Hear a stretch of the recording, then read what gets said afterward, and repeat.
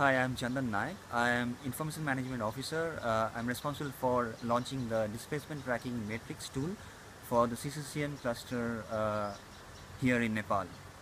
Mm, this uh, the displacement tracking matrix is a tool which identifies uh, different needs of IDPs uh, settled in different camps in rural as well as the urban settings.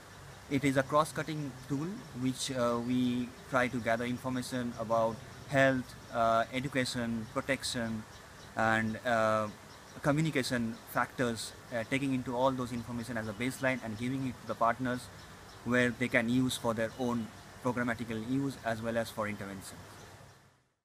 Okay, we work closely with the humanitarian community as well as the Nepalese government and we go down to the district level. Our team goes there and they talk with the district, uh, the district chief and then we identify the villages. We go into those villages, identify our key informants which can be the chief or other uh, group leaders. We take in information from them, uh, whatever is there in our tool and then we send those information back to Kathmandu or our headquarters here and we compile those data and send out uh, the data as soon as possible from our side and this is how we try to help uh, to get through all through all the data to the humanitarian committee as well as to the government for fast action.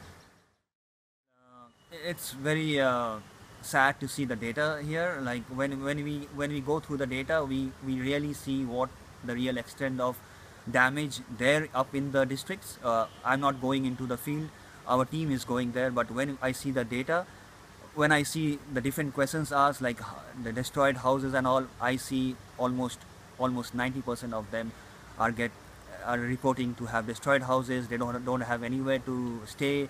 They have problems with uh, non-food items. They have problems with food distribution they are really in need and that's where I want to convey my message and from through DTM that there has to be work done here in the near future before or when the monsoon comes in before we have to act.